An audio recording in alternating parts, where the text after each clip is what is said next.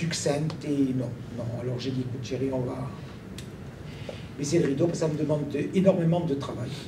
Voilà, donc j'ai tenu un an et demi avec, cette avec cette collection à Straton. sympathique, oui.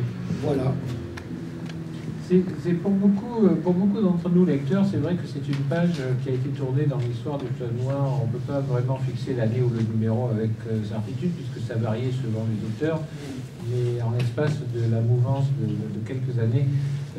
Olivia, tu, notre, pour contextualiser la fin de cette période du, du, noir classique, disons, pour l'appeler, est-ce que d'autres observations, comme je vois qu'il est 3h19, j'essaie de me clé As-tu d'autres observations ou connaissances sur, sur cette période-là qui représente un peu la fin de l'ère Bessière, Gueux, etc. en, fait, euh, ça a été, euh, il y avait une politique générale du fleuve noir euh, qui voulait un, renouvellement, un, renouvellement, donc aussi bien d'ailleurs qu'on voit dans, les collections spéciales police, à la collection espionnage, c'était c'était un passage un peu au Karcher ah, mais ça a été, ça a été le, là, ça a été le plus évident, été dans, le, euh, dans la, collection anticipation, parce qu'en en, fait, euh, oui, euh, en, fait, là, la liquidation, elle a été en gros, comme dans les magasins, mais elle s'est pas passée pareil pour tout le monde. C'est-à-dire qu'il y a des gens qui ont été proprement, enfin, il faut, dire les choses telles qu'elles sont, jetés comme des merdes. C'est-à-dire, je pense à des gens comme euh, Régent, des gens comme ça, qui ont été du, un beau matin, salut, au revoir, merci.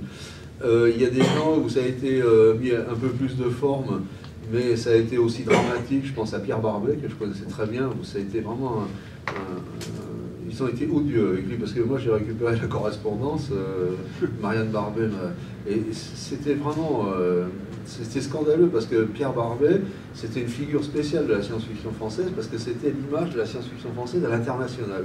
Pierre Barbet était membre de la SF, euh, de la SF Writer of America. Euh, c'était une espèce c'était euh, un ambassadeur de la SF française. Il est alors lui, ce qui était, il était copain avec.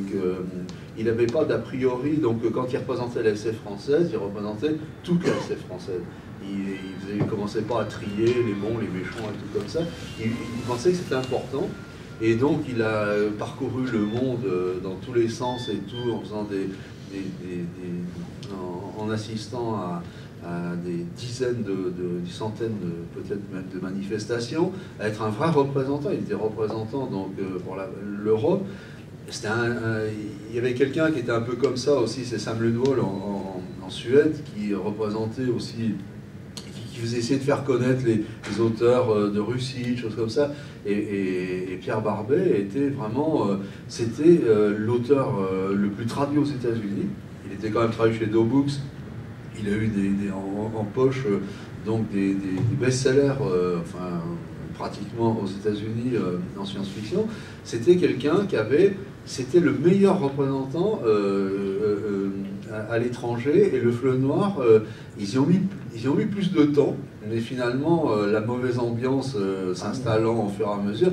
Moi, c'est les, personnes dont, vous parlez, je les ai connues aussi, parce que je commence à avoir de la bouteille. Il y a Syrie qui a, qui a pas. C'est-à-dire que Syrie, ça a commencé, ouais, et ça, ça commence à dégénérer et tout. Avec, Syrie, avec, des gens comme, euh, bah, il faut citer des noms, Funiguiramant, des oui, comme ça. Voilà, euh, Catherine Sauvage qui avait pris la, la, suite.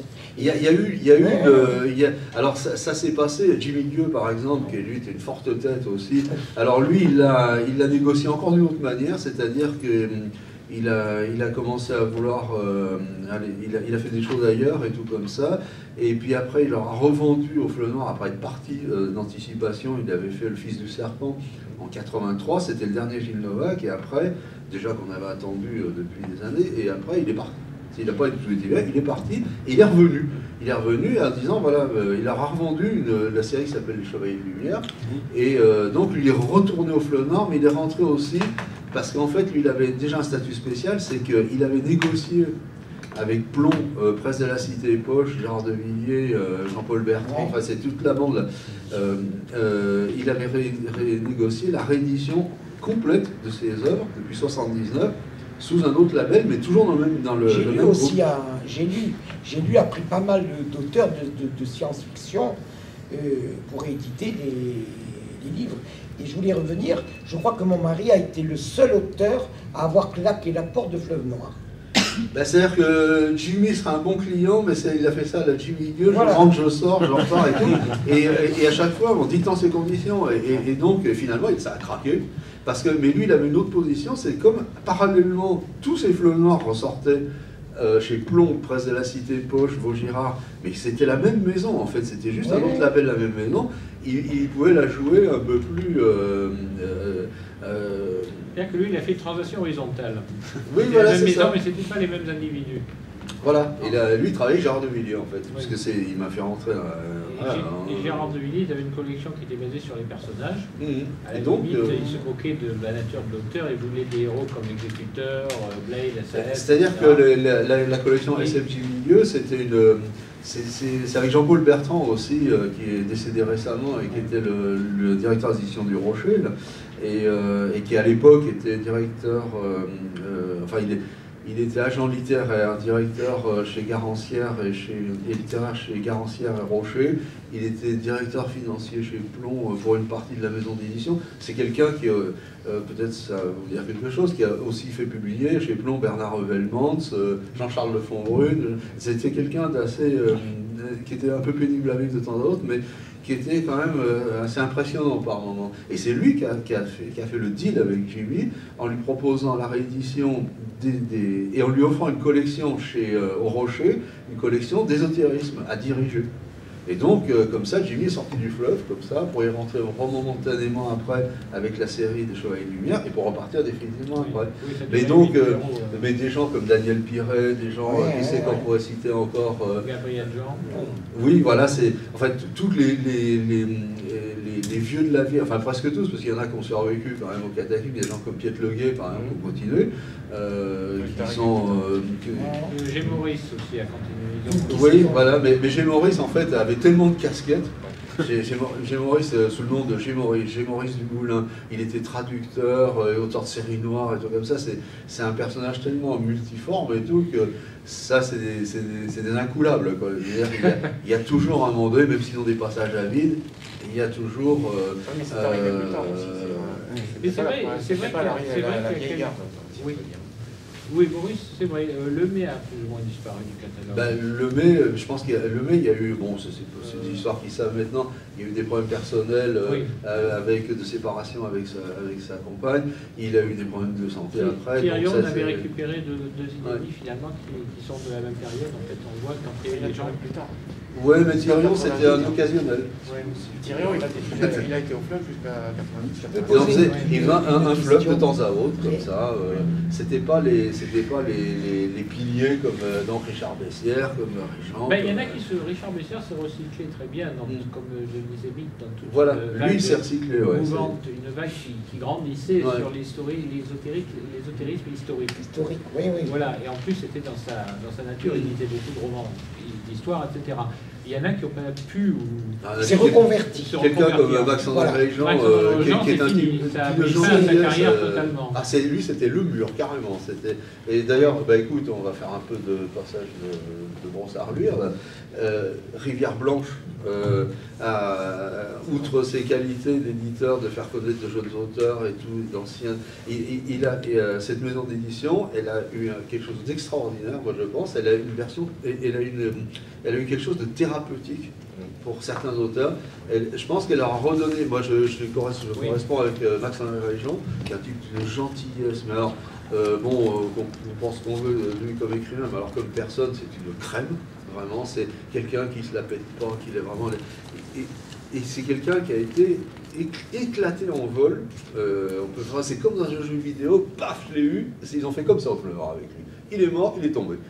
Et il a vraiment mal vécu. Et en fait, euh, de, retrouver le chemin euh, de, de, l'édition avec Rivière Blanche, et c'est pas du tout le seul, mais c'est le cas que je cerne le mieux, ça a été un renouveau pour lui. C'était ça lui a fait un bien infini. Euh, je pense que. Je peux, euh, donner un cas qui est encore plus choquant que Régent de point de vue d'affaires, c'est PJ Hero. Oui. Euh, PJ Hero, qui pourtant est notre, notre, l'auteur le plus culte, au sens où c'est celui qui a le plus de, fans autour de lui. Donc, si vous étiez éditeur, ça, Pégiero, à partir du moment où. Lui, il a, été largué un peu plus tard par le fleuve. Oui, c'est ça, c'était la dernière euh, la séance de largage. À partir du moment où le fleuve a pu être là, euh, plus Pégiero, lui, a continué à chercher à être publié. Il s'est heurté à refus après refus après mm. refus. Et quand on a été le voir, euh, qui c'est qui vous a recommandé d'aller voir Pégiero C'était bien Michel Pagel, je crois. Ah oui, je pense que c'est bien possible. Il nous a dit, tu sais, tu devrais aller voir Pégiero, il a encore des manuscrits et tout. Et on a été, je veux dire que réellement, je suis sûr que M. Hérault serait le premier à nous témoigner et posez-lui la question si vous le voyez. Ben, il est, il est, à côté. Euh, je crois que ton, exemple thérapeutique est exact, parce qu'il il nous a vraiment accueillis, euh, je veux dire, euh, je ne dirais pas qu'il était au bord du suicide, mais enfin, il était, il était affligé par ces refus continuels qu'il recevait, et quand on s'est pointé, on était un ballon d'oxygène. Il y a Jean-Pierre Garenne aussi, des gens comme ça, qui ont essayé par eux-mêmes de continuer à publier. Finalement, euh, bah, ça a continué à se vendre. Il, lui s'est autopublié. Euh, euh, et puis il est, bon, il est décédé. Quelque part, Richard Bessier est encore un exemple d'auteur, finalement, comme on parlait au début du mm. numéro 1, ça, y a on, boucle finalement de façon assez esthétique la carrière, parce que c'est un auteur qui, au moment où cette porte se fermait, a su se réinventer ah, de façon avec, succès, avec professionnalisme, avec conviction, avec dynamisme, et ça recrée une seconde carrière. Ah oui. Euh, il n'est jamais passé au conseil, en conseil de lecture. Oui, Quand il appelait une maison d'édition, Richard Bessière, c'est pas la peine de nous donner votre cursus, on le connaît. Oui. Ouais. Et je voulais savoir, Jean-Michel, combien de traductions Mon mari a été traduit en combien de langues? C'est moi qui avais fait le. Alors là, il y a une. Euh, pardon. Euh, je pense que c'est toujours valable parce que quand on avait fait le bouquin là, sur, euh, chez à l'ODS, là, sur Charles Bessière, j'avais fait le compte parce que, et en fait, je, je, suis un chasseur de traduction du fleuve Nord, c'est une de mes, mes passions, un de mes vices, diront certains, donc de traquer. et en fait, les deux, les deux, les deux auteurs qui se qui se course comme ça, mais parce qu'on finit toujours par en retrouver une qu'on connaissait pas et qui fait que le leader change, en fait, c'est Richard Bessière et Jimmy Oui. Mais vraiment, c'est toujours un ou deux comme ça, puis ça change. Quand on avait fait le, quand on avait fait le livre, je crois que c'était Richard Bessière qui tenait la pole position. Après Jimmy, j'ai trouvé une traduction que je connaissais pas, euh, un tout petit éditeur espagnol. Et, après, euh, et puis après, on en retrouve une autre comme ça, mais c'est les, les, deux seuls. Et je pense que ça, il y a. Enfin, bon, il faudrait peut-être voir maintenant avec les, les, avec les depuis notamment que les pays de l'Est, euh, enfin le bloc soviétique a disparu. Tu devrais inclure la traduction des gens de l'Apocalypse et des sept à à l'Apocalypse. Euh, oui, euh, je dois, aller. Euh, ça en fait deux de plus. je dois aller en Russie oui, chercher des. Oui, oui, il y a des. Y a des en, en, Russie, on, des, on, on découvre. Là, j'ai découvert par hasard un Jimmy Gueux que je ne connaissais pas en Russie. Quoi, Et Jimmy Gueux publié en Russie, il était donc, ça de l'au-delà et ça a dû lui faire quelque chose. Il a retourné dans sa tombe. Combien de, donc, de, de, donc là, on était, j'ai plus les chiffres en tête, on était, ouais, ça, enfin pas une centaine, mais. Si, si, je crois qu'en tout. Parce qu'après, il y a les euh, du même bouquin réédité, mais en titre, euh, en titre séparé et tout. Moi, je les ai traqués euh, aux quatre coins du monde et tout. et je sais sais plus, des, vraies traductions, c'est-à-dire le gros livre c'est 40-50 oui, facile, c'est énorme, ça fait la moitié de la production. les gros c'était l'Espagne, le Brésil et l'Italie. Le Brésil, le Brésil, le, Brésil était un, un, gros. Euh, euh, parce que c'était spécial. les histoires brésiliens, il y avait une espèce d'agence qui travaillait avec le fleuve Noir. Euh, donc, que j'ai essayé de recontacter, enfin, je suis allé trouver quelqu'un qui, et, et, donc qui vendait au fur et à mesure comme ça des, des le, catalogue. Quoi. Je veux dire, on a eu des, des, traductions comme ça très bizarres. Par exemple, il y a eu des Jimmy Lieu qui sont sortis en grand format au Brésil, comme ça, euh, les Gilles, certains Gilles Novak. Euh, et, donc là, Richard Bessière a été un des plus traduits au, Brésil. Hein, Parce que j'ai reçu des condoléances euh, d'édition Mondadori. Ah oui, ben ça, ça c'était... Italie. Italie. Oui. Il, il, publiait Urania, et Urania a publié énormément de romans de Richard Bessia et d'autres auteurs. C'était le, le, le Fleuve Anticipation était une des sources de je crois que c'est en 12 langues qui a été traduit, mon mari. Oh, facilement, oui, je pense. Oui, facilement. Parce qu'en fait, il y a eu plein de petites traductions euh, euh dans, l'Europe centrale. En roumain, en Grèce Oui, oui, en Grèce, euh, j'ai déjà fait. J'étais le premier à faire la liste. En Allemagne, moins en Allemagne. En Allemagne, pas beaucoup. Non, c'était. Il y a eu quelques-uns en fascicule, mais, beaucoup en. oui, en Hollande, ouais, je les ai trouvés tous aussi. Il y a une collection qui s'appelait. Euh, en Israël. Euh, c'est bien possible. Oui, oui, oui. Il faudra le... rajouter ça, oui. Il faudra que j'ai les archives je oui, en Israël, oui. Probablement en Turquie, parce que euh, oui, il y, a des, y, a des turqueries qui sont domaine, mal, dans un domaine complètement parallèle, qui est, tu sais, la reproduction des éditions Lug, on réédite les bandes dessinées qui étaient publiées dans les fascicules des éditions Lug. Vous savez, Zambla, Yuma, etc. Et je suis depuis en contact avec un éditeur turc qui euh, fait des éditions turques de certaines de nos bandes dessinées euh, légalement. Mais grâce à lui, j'ai découvert qu'en fait, euh, il, y a une montagne de traductions turques d'œuvres françaises. et quand il n'y en avait pas assez de françaises, ils, écrivaient leur propre suite en Turquie. Il y a des fantomas turcs, Arsène Lupin turc, Dracula turc, on a vu ça le week-end dernier à Elvin là, pour le, le Alors, je ne serais pas surpris du tout qu'il y ait des Richard Messières turcs. Eh ben, euh, il y a. Euh, Dans ma bibliothèque, je n'ai absolument oh non, mais rassurez-vous, j'ai trouvé Peter Honda turc. J'ai trouvé des angoisses Polonais, oui, j'ai polonais. Et des Louis Thirion sous un autre nom. Ah bon, Alors ça c'est incroyable parce que c'est envoyé. J'ai récupéré deux Peter Honda euh, turcs des années 80 et dans les listes des, euh, titres déjà parus, euh, j'ai une connaissance assez limitée du turc, mais enfin, il y a quand même des trucs qu'on reconnaît. Et j'ai vu, je vois avec un pseudo anglo-saxon, un titre où il y avait Alkinos Ah oui, les naufragés d'Alkinos. Tiens, ça me rappelle ah, quelque chose. Ils ont dû d'auteurs, ça peut arriver. Ah non, ils l'ont fait deux fois pour Tyrion, il y a un truc. Parce que, ils ont fait deux fois le même pseudonyme, fantôme, pour deux romans de Tyrion et ça sent. C'est pas possible. Parce que le fleuve noir, le fleuve noir avec Bouquet Randa sur lequel mis caché en couverture. Oui, ça, ça arrive. Euh, les accords internationaux avec la Turquie sont récents. Oui, mais oui, moi j'ai pour l'édition. Ce qui fait que jusqu'aux années 80, c'était C'était comme la Russie. Euh, et il y a par exemple beaucoup plus de Lucky Luke en turc.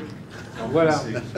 Et puis, il faut dire, euh, Olivier a raison, euh, l'éditeur turc m'a demandé de faire une préface pour l'édition de, de en Turquie, donc euh, j'ai écrit une préface, donc j'ai reçu des exemplaires de l'album, et en général, on reçoit beaucoup d'éditions, enfin, je veux dire, pas autant que Richard Messier, mais en fait, j'ai vu, vu, pas mal d'éditions de, de mes œuvres en différentes langues, mais alors, le turc, c'est comme s'ils avaient tiré des lettres dans ce sac de Scrabble et qu'ils avaient mis ça. Je suis incapable de, reconnaître ce que j'ai écrit. C'est Agasa, Gouglak, Gouglak, Glak, Glouk, Glouk, Zangla, Glouk, Glouk, Glak.